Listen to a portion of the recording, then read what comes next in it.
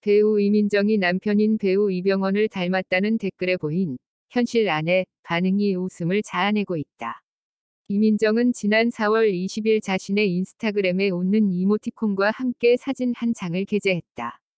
검정 재킷을 입고 카메라를 바라보며 찍은 셀카다. 사진엔 한 아이의 엄마라고는 믿기지 않는 이민정의 동안 미모가 담겨 있다.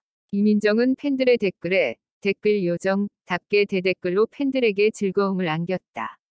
특히 한 팬이 이병헌 배우님 닮으신 것 같아요. 라고 하자 이민정은 악 안 돼. 라며 비명을 지르는 대댓글을 남겨 웃음을 자아냈다. 팬들은 이민정의 반응에 키키키키 등 웃는 댓글을 남기며 즐거워했다.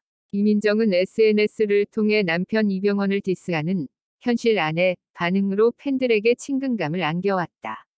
이병헌은 과거 SNS에 게시물을 올리며 이민정의 댓글을 의식한 듯 아내의 계정을 태그하고 댓글 자제 요망이라는 글을 남겨 화제를 모으기도 했다. 이민정, 유퀴즈, 서 이병헌 디스, 셀카 못 찍어. 앞서 이민정은 지난 3월 트빈, 유퀴즈 온 더 블럭에 출연, 이병헌이 셀카를 못 찍는 것 같다. 라고 디스해 폭소를 자아냈다.